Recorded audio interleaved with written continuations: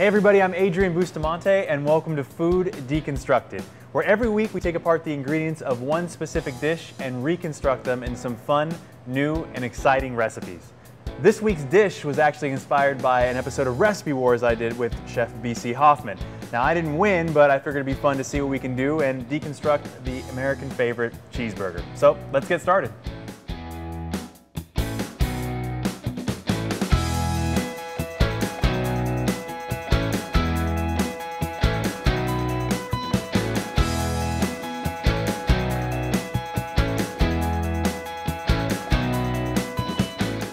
First recipe is going to be a cheeseburger ice cream sundae. Now, this recipe is a little different and just about a little bit weird, so I'm excited and also a little bit apprehensive at the same time because I do have to eat this. But the first thing we're going to start with is our ice cream, and uh, we're going to make the base now. We're going to start by getting our burner ready, taking our whipping cream, as well as our milk. Now our ice cream base is actually going to be a cheddar and caramelized onion base which obviously you can see where those ingredients are coming from the cheeseburger. And then we're actually to be taking some beef candied sprinkles and putting that over the top of it. But along with that, we're also going to be doing a ketchup, bacon, and caramel sauce. So you can kind of see how all these cheeseburger ingredients are going to be coming together, making this fun new dish. So I've placed my heavy whipping cream and my milk in this pot. I'm to let it come to a boil.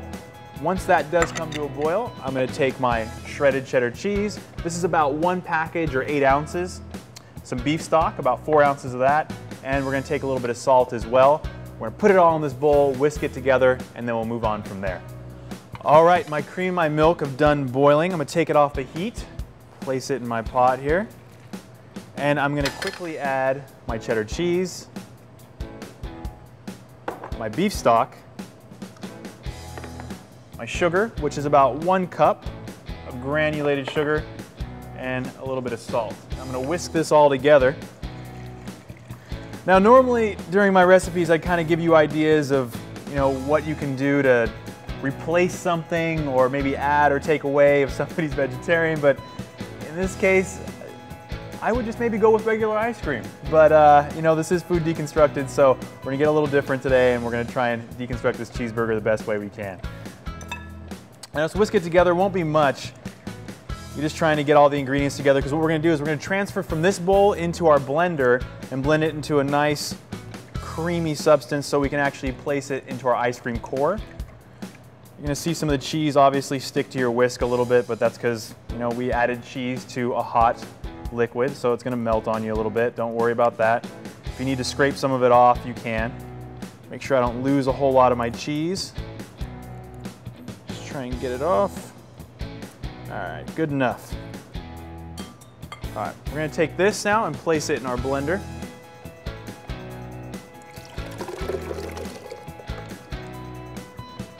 Now you're just gonna blend it just for a little while, like I said, until it becomes nice creamy substance.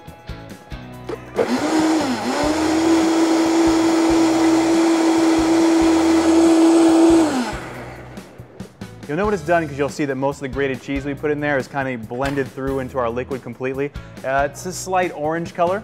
So I'm gonna grab our ice cream core. All right. Take this and place it in our core. Now you're gonna place this in the ice cream maker and you're gonna follow the directions according to your own ice cream maker. For us, we're gonna put it in for about 20, maybe even 25 minutes. But five minutes before it's just about done, we're actually gonna add our caramelized onions to it as well, just to increase that flavor to it. Once that's completely done, we're gonna freeze this for roughly about two hours in a nice airtight container and then take it out, you know, roughly 15 minutes or so before we're ready to serve it so it gets nice and soft. All right, my ice cream machine is running. Now it's time to make our beef candied sprinkles. Now we're making the beef candied sprinkles with beef bacon. Now beef bacon is not something you can normally find at your normal run-of-the-mill grocery store for the most part, but you can definitely check it out at any kosher store. Uh, it's usually there for yourself. So we're using this obviously because we're deconstructing the cheeseburger, so I wanted to use some type of beef product in our food. So we're gonna be taking some brown sugar, some cayenne pepper, and some cinnamon. I'm place all this in a bowl.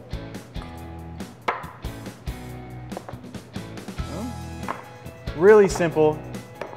Anybody can do this at home. You can get your kids in with it. Just gonna whisk these ingredients together.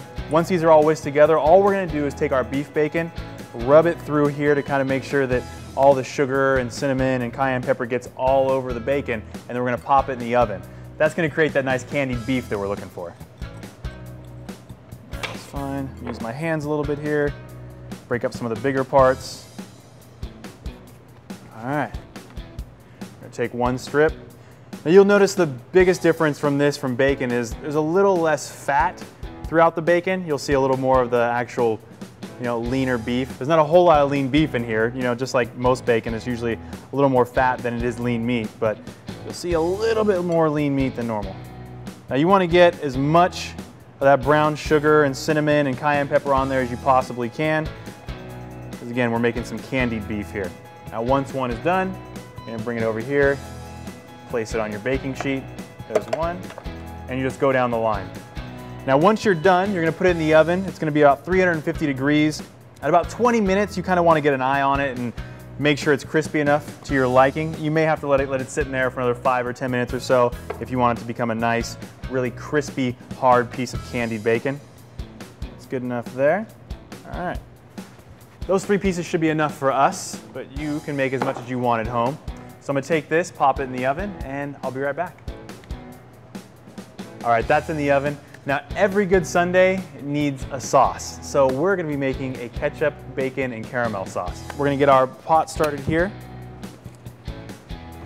So we're gonna take our water, about a quarter cup, some sugar, and some corn syrup. We're gonna place it in our pot here.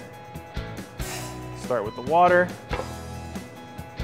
move on to our sugar, and of course, the corn syrup. Now obviously you can see we're trying to make a nice sweet base here for yourself with the sugar and the corn syrup. It's gonna help us kind of get that nice ice cream sundae texture that we're hoping for. So we're gonna mix all this together, let it come to a boil. Now you don't wanna stir it because otherwise it'll start to crystallize and we don't want that. So this is gonna come to a boil. Now you'll see it start, start to become kind of a rich amber color. Once it starts reaching that color, that's when you know this is just about done and we can bring it off. And while that's doing its thing, I'm gonna take some bacon, dice them up, and saute them and get ready for the rest. So we're gonna use regular bacon for this one. Get a little couple different meat products in here.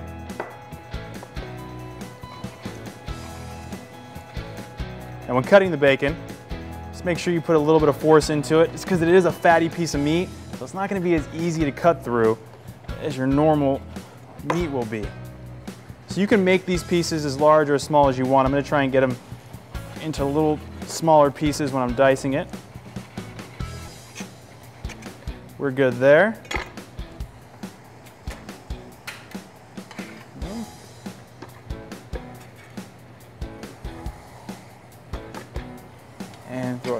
I'm gonna let these saute up a little bit. I'm not even gonna need to put any oil in there because obviously the bacon is gonna have its own oil in it, so I'm gonna let it kind of cook in its own fat. This is slowly turning a little bit of that golden amber color I'm hoping for, so I'm gonna let these cook, let this finish up, and then we'll keep moving along with our sauce. All right, our caramel sauce has turned that nice, rich amber color, so I'm gonna take it off the heat real quick, and then we're gonna add our cream. It's gonna bubble up on you, so be prepared for that. If it bubbles, you're not doing it wrong. And then the ketchup. Now we're gonna place it back on the burner and bring it up to a boil again. Shouldn't take long, but let that kind of boil up and mix in on its own. Now my bacon is just about done doing its thing over here. I wanna just make sure that all the fat is kind of getting in there because that is going to come in handy on the next piece. Now that's there. What we're going to do is we're going to add some butter, Whoop. as well as some vanilla to the pan as well. And we're going to let that simmer and cook down.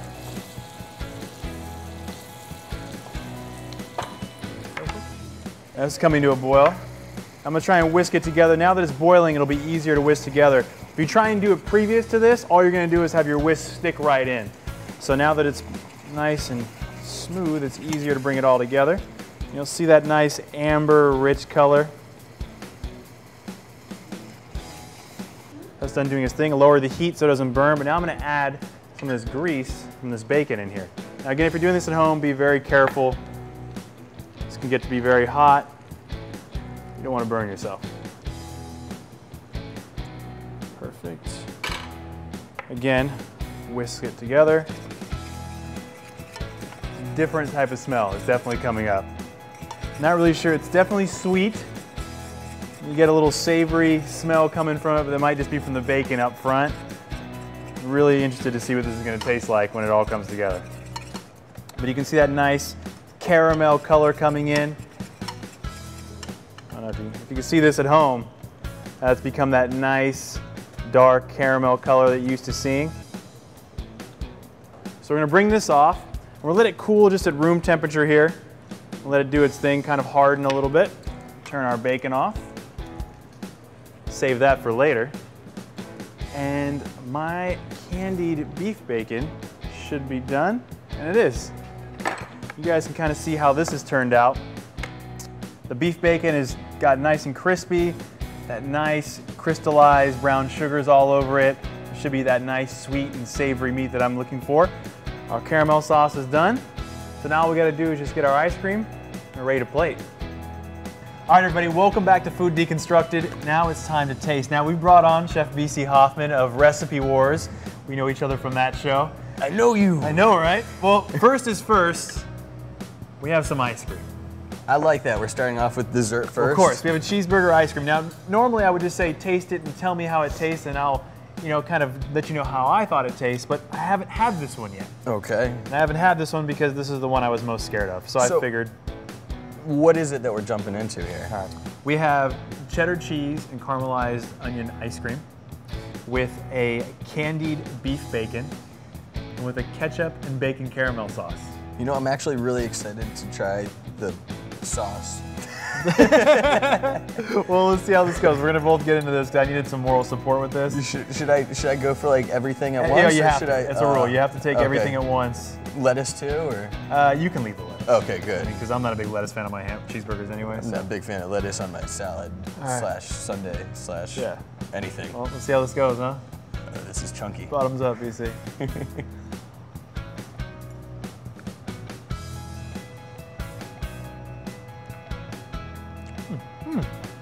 know, Whoa. surprisingly, Yeah, I actually kind of like it. I do too. I think I'm gonna go in for number two right here, You know what? There was. just so I can break it down. I agree. I had to take a minute for my taste buds to settle down because I think they were so tense from fear of putting this in my mouth. And after it actually they relaxed, this doesn't taste half bad. so the ice cream is really good. Yeah, the ice cream is good. The the cheddar isn't really overpowering, at least for me. Neither are the onions. It actually is kind of a really sweet ice cream with just a hint of cheese. Hmm. The candied bacon, Yeah, beef- it- burger bacon. Yeah. I mean, you know me and bacon. Yeah, you love it. So You know what? I'm I'm pleasantly surprised with this one. I should have tasted this one by myself. All right, well. So you think pretty good? Yeah, I would possibly possibly have that again.